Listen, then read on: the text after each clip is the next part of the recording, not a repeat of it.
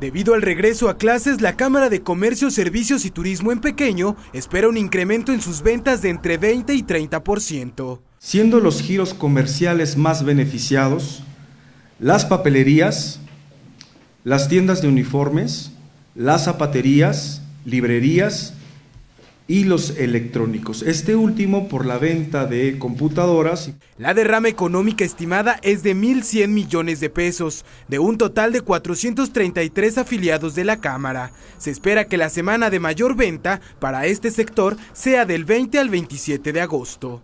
Los comerciantes de Canacope estarán ofreciendo descuentos que oscilan de entre un 10% hasta un 30% de descuento, con la intención de que los padres puedan contar con, la mejor, con el mejor precio para los útiles de sus hijos. El costo que gastarán los padres de familia por niño se estima entre 2.145 pesos y 9.590 pesos desglosado de la siguiente forma.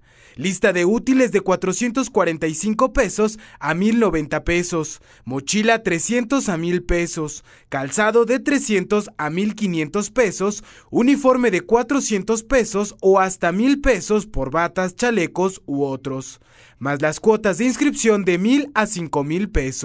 Se aconseja que se puedan revisar los artículos escolares del ciclo anterior a efecto de saber cuáles van a ser aquellos que tienen todavía una vida útil y que pueden reciclarse. Asimismo, se exhorta a planear las compras con tiempo de antelación y tener oportunidad de comparar los precios. La Canacope hizo un llamado a las autoridades para que continúen con el retiro de ambulantes en la zona del centro, ya que afecta al menos a 300 comercios con pérdidas entre 10 al 50%.